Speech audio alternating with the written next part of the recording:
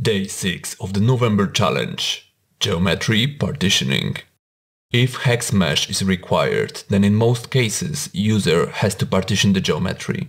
There are different ways to do it and I will share the technique that I like a lot. At first, user has to change geometry from solid to shell representation. Then a set of surfaces can be created that overlap with our geometry. When it's done, we can convert it back to solid representation. Using the Geometry Diagnostics tool, we can easily select all of the free shell faces and delete them with the Remove Faces tool. Simple and powerful.